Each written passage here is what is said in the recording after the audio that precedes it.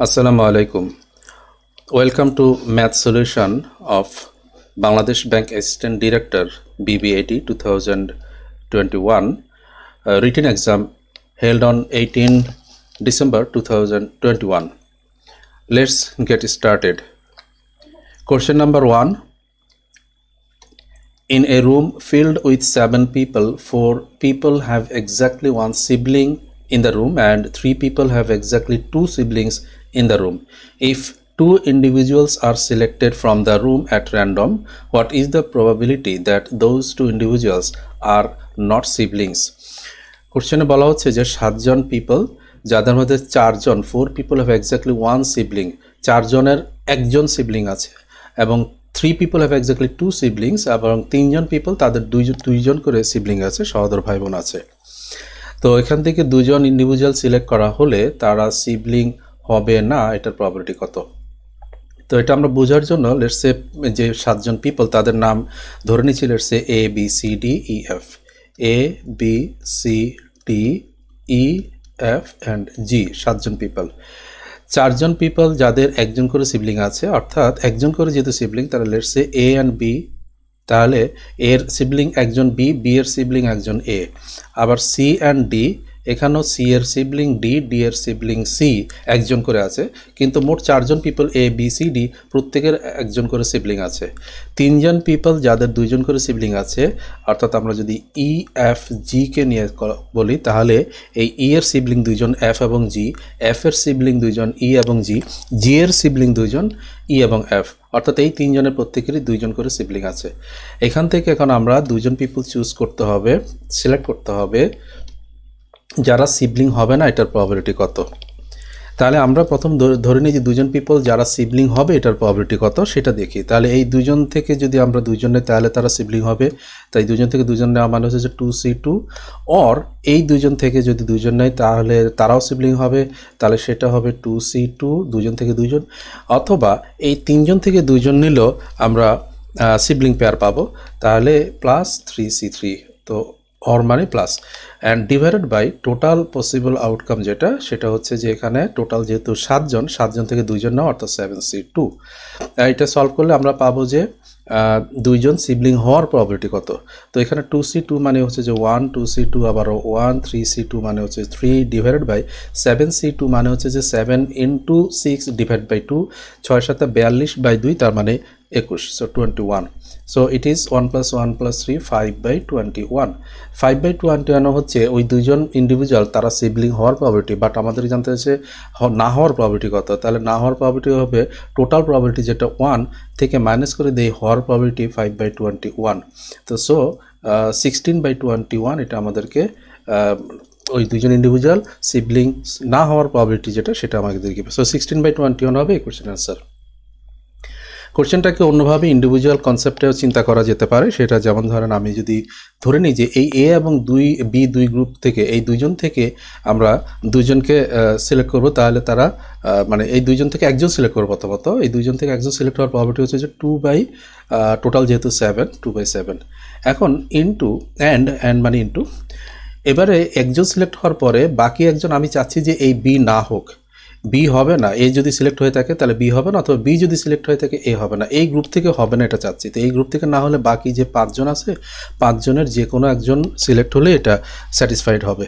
অর্থাৎ তাহলে divide into হবে ফাইভ বাই এখন টোটাল আমার পার্সন রয়ে গেছে, যেহেতু একজন সিলেক্ট হয়ে গেল, সাতজন থেকে একজন কমে যাবে, তাহলে এটা সিক্স হবে। অর একইভাবে যদি আমি এখান থেকেও চিন্তা করি যে সিডি এই সিবলিং পেয়ার থেকে যে কোনো একজন সিলেক্ট হবে, তাহলে একজন সিলেক্ট হবে এটার একজন সিলেক্ট হবে প্রথমত টু বাই সেভেন এবং আরেকজন এই সিবলিংয়ের হবে না, তাহলে আমাকে not not probability of not being sibling এর ইয়েটা দিয়ে দিবে রেজাল্টটা দিবে। তো একজন সিবলিং হবে না, একইভাবে এইখানে সি এবং ডি এর মধ্যে যেজন সিলেক্ট হলো, সে বাদে বাকি মানে এই গ্রুপ বাদে বাকি যে পাঁচজন পাঁচজন থেকে যে কোনো একজন হলে, অর্থাৎ ফাইভ বাই এখানেও ফাইভ বাই সিক্স অর মানে প্লাস এখন এই তিনজন থেকে যদি একজন সিলেক্ট করতে চাই তাহলে সেটাও আবার আমার একজন সিলেক্ট হবে থ্রি বাই সেভেন অ্যান্ড আমি চাচ্ছি এবং আরেকজন যে, সে এই গ্রুপ থেকে সিলেক্ট হবে না যাতে সিবলিং না হয়। তো এই গ্রুপ থেকে না হওয়া মানেটা কি? তাহলে এ বি সি ডি ওই চারজনে, যে কোনো একজন হলেই হয়ে যাচ্ছে। তাহলে ওখান থেকে আমরা যদি একজনকে সিলেক্ট করি, তাহলে ফোর বাই সিক্স তো এটাকে সিম্পলিফাই করলে এখানে টেন বাই টেন বাই ছোটো করা যায় থ্রি দ্বারা।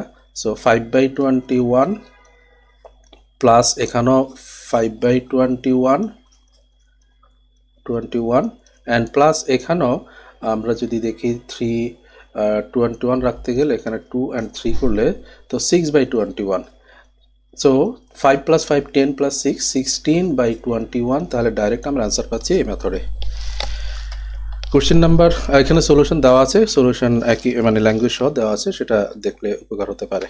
Question number two In a village of 100 households, 75 have uh, at least one DVD player, 80 have at least one cell phone, and 55 have at least one MP3 player.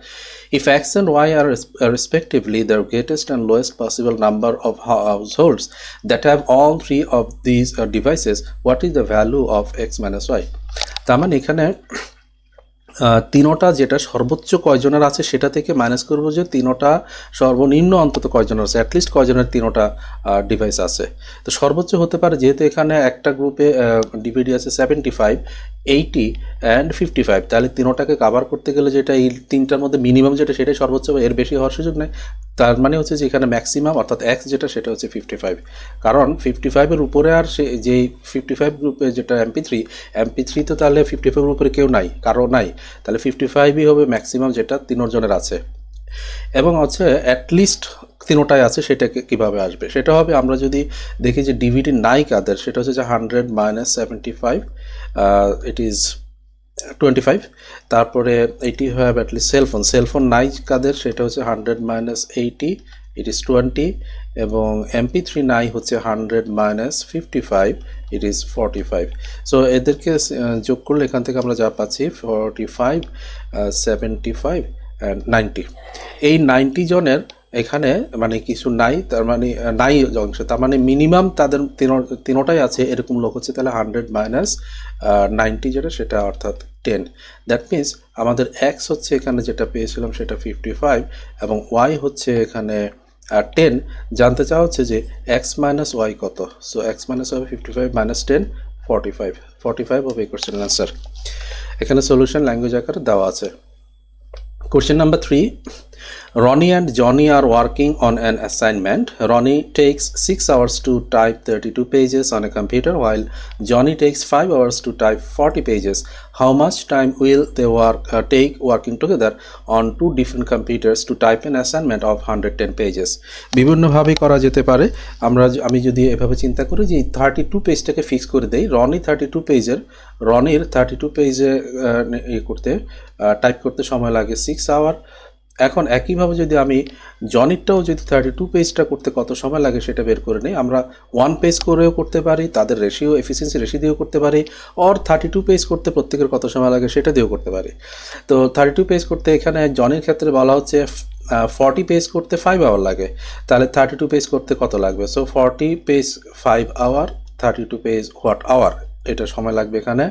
পাঁচ এখানে আটবার, আর চার দিয়ে cancel হচ্ছে সো ফোর আওয়ার তার মানে একই পরিমাণ কাজ, যেটা হচ্ছে থার্টি টু পেজ সেই কাজটা করতে রনির এবং লাগে ছয় ঘণ্টা, জনির লাগে চার ঘণ্টা। তার মানে দোনোজন যদি একসাথে করে টোগেদার যদি করে, তাহলে সময়টা লাগবে কীভাবে আমরা বোথের সময় হচ্ছে যে A into B by A plus B অর্থাৎ six into four divide by six plus four ten এই সময়টা লাগবে তারা যদি বত্রিশ থার্টি টু পেজ দুইজনে একসাথে কাজ করে। কিন্তু আমাদের কোশ্চেনে বলা হচ্ছে যে একশো দশ পেজ করতে কত সময় লাগবে? তাহলে আমরা এটাকে এভাবে নির্ধারণ করতে পারি যে একশো বত্রিশ পেজ করতে এত সময়, একশো দশ পেজ করতে কত সময়। তো সো এটা আমাকে ফাইনাল রেজাল্ট দিয়ে দেবে। এখানে জিরো জিরো ক্যান্সেলড চার দিয়ে এখানে আটবার চার আট আর পরে দুই দিয়ে এখানে তিন এবং এখানে চার, তো তেত্রিশ বাই চার thirty three by four hour এটা হচ্ছে অ্যান্সার এটাকে একটু সিম্পলিফাই করলে চার আটটা বত্রিশ এইট আওয়ার এবং one by three one by four hour one by four আওয়ারকে আমরা মিনিটে কনভার্ট করতে পারি fifteen minute so eight hour fifteen minute will be the answer solution দেওয়া আছে।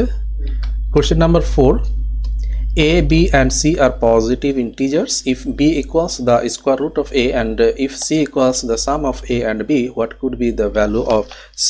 So এখানে দেওয়া আছে b equals the square root of B equal to root of A তার মানে হচ্ছে যে আমরা বলতে পারি যে এ ইকুয়াল টু এখান থেকে বলতে পারি A equal to square square operation করলে B square A equal to B square আবার দেওয়া আছে যে C equal sum of A and B তার মানে C equal to A plus B এবং এর পরিবর্তে আমি বি স্কোয়ার বলতে পারি। So B square plus B এখান থেকে যদি বি কমন নেই, তাহলে বি প্লাস ওয়ান এখন এখানে আমরা দেখতে পাচ্ছি সি এর ভ্যালুটা আসলে দুইটা কনজিকিউটিভ নাম্বারের প্রোডাক্ট দুইটা কনজিকিউটিভ ইন্টিজার বি এবং বি প্লাস ওয়ান দুইটা কনজিকিউটিভ নাম্বারের প্রোডাক্ট তার মানে যেহেতু আর কোনো কন্ডিশন নাই, তো কনজিকিউটিভ নাম্বারের প্রোডাক্ট এমন হতে পারে যে one into two it is 2 অথবা 2 into 3 it is 6 অথবা 3 into 4 it is 12 or 4 into 5 it is 20 and so on, এরকম করে যে কোনো কিছুই হতে পারে।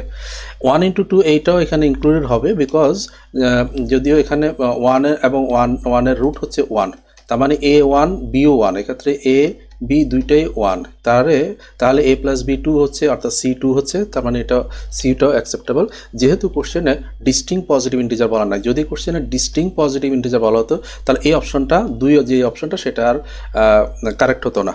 তাহলে অ্যান্সার হবে এখানে two six twelve twenty and so on question number five The monthly income and expenditure ratio of A and B are 5 is to 6 and 4 is to 5 respectively. If both of them can have take a 500 as monthly savings, then what is the income of A? এখানে রেশিওতে যদি আমরা apply করি অনেক মেথডই করা যায় ratio method apply করলে এখানে যদি দেখি যে ইনকাম যেটা সেটা হচ্ছে রেশিওটা এ এবং বি এর ক্ষেত্রে five is to six expenditure যে রেশিওটা দেওয়া আছে সেটা হচ্ছে ফোর ইস টু ফাইভ তো এখন ইনকাম থেকে এক্সপেন্ডিচার মাইনাস করলে আমরা সেভিংস পাই, আমরা জানি। তো এখানে যদি আমরা রেশিওতে খেয়াল করি ফাইভ এবং ফোরের ডিফারেন্স ওয়ান সিক্স এবং ফাইভেরও ডিফারেন্স ওয়ান যেহেতু তারা বলা হচ্ছে যে তারা both of them can have taka five hundred as monthly saving দুজনেই পাঁচশো টাকা করে সেম অ্যামাউন্ট সেভ করতে পারে। আর এখানে রেশিওতে আমরা দেখছি সেম সেম রেশিও ওয়ান এবং ওয়ান তার মানে যেহেতু সেম আসলো, তার মানে এই যে ওয়ান রেশিও যেটা, সেটাই এখানে আমাদের রেশিওতে ওয়ান যেটা, সেটাই আসলে টাকা ফাইভ হান্ড্রেড টাকা ফাইভ হান্ড্রেড তাহলে আমাদের জানতে চাওয়া হচ্ছে যে এর ইনকাম কত? এর ইনকাম ছিল ফাইভ ইউনিট তাহলে ফাইভ ইউনিট হবে five into five twenty five hundred so twenty five hundred এটা হবে এর ইনকাম এছাড়া এটাকে ইকুয়েশনে করতে চাইলে ইকুয়েশনে করা যেতে পারে এভাবে করে যে এখানে ইকুয়েশন অনেকভাবে করা যায়। বাট সহজ উপায় হতে পারে এখানে এর ইনকাম ফাইভ এক্স বি এর ইনকাম সিক্স এক্স যদি ধরি, তাহলে five x by six x. এখন ফাইভ এক্স থেকে যদি আমি তার সেভিংসটা ম্যানেজ করি ফাইভ হান্ড্রেড এবং বিয়ের সিক্স এক্স থেকে যদি সেভিংস ফাইভ হান্ড্রেড মাইনাস করি, তাহলে থাকবে তাদের এক্সপেন্ডিচারের রেশিও যেটা ফোর ইস টু ফাইভ দেওয়া আছে, তাহলে equal to four by five লেখা যায়। এখন এখান থেকে যদি আমরা ক্রস গুণ করি five into five twenty five x minus twenty five hundred and twenty four x minus two thousand so এখান থেকে আসছে twenty five x minus twenty four x মানে x x equal to twenty five ওই পাশে চলে গেলে five hundred x equal to five hundred আসলো but আমাদের দরকার হচ্ছে যে, এর ইনকাম আমরা ধরে নিয়েছিলাম ফাইভ এক্স তাহলে ফাইভ এক্স কত? সো ফাইভ এক্স হবে five into five hundred which is twenty five hundred taka. So twenty five hundred টাকা হবে এই কোর্সের অ্যান্সার সলিউশন এখানে ল্যাঙ্গুয়েজ আকারে দেওয়া আছে। তো, এই ছিল কোশ্চেনগুলো থ্যাংকস ফর ওয়াচিং